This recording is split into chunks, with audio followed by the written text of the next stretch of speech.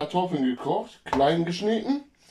Die äh, waren als äh, festkochend angegeben, aber die zerfallen ganz schön. Gurken haben wir klein geschnitten. Wir haben das ganze Glas genommen an Gurken. Wir kippen das jetzt auf die Kartoffeln drauf. Zack. Ihr müsst auch noch mit. Ups. Zwiebeln haben wir jetzt ungefähr, war eine ziemlich große, haben wir eine, eine genommen. Zack, rein damit. Eier haben wir sieben Stück, auch klein geschnitten. Zack, drauf. So. Ein Spritzer Essig tue ich immer drauf. Nicht zu viel.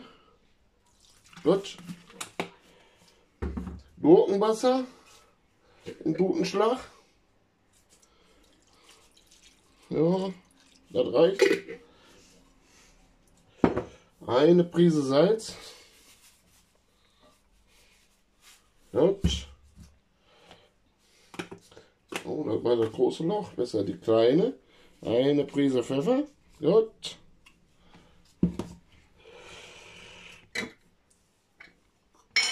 So, Senf. Drei Löffelchen. Eins, zwei, drei. So.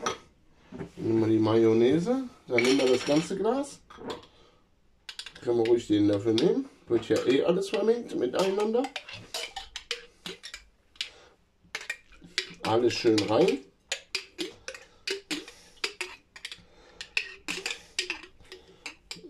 Mhm.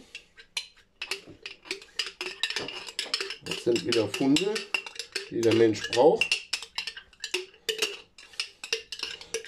Wo ich die ganze Woche wieder Haferschleim essen muss.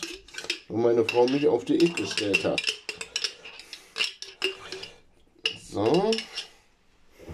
Herrlich. Da geht noch was. So, prima. So.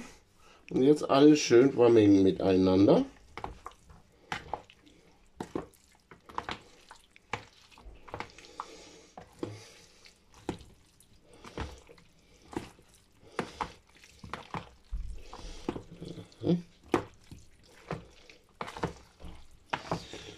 Und schon fertig ist der Kartoffelsalat.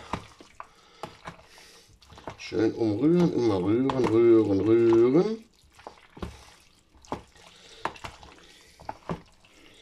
Herrlich zum Grillen oder zu den Frikadellen. Ich habe ein schönes Frikadellenvideo gemacht. Das passt richtig gut zu dem Kartoffelsalat. So. Jetzt probieren wir mal.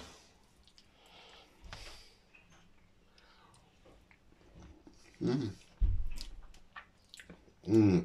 Lecker. Wenn ihr euch nicht schmeckt, irgendwie Salz oder Pfeffer fehlt bei euch, dann tut einfach ein bisschen noch nachwürzen. Den stelle ich jetzt eine halbe Stunde oder Stunde noch im Kühlschrank und dann probiere ich den nochmal und würze ihn nochmal nach. Viel Spaß beim Nachkochen.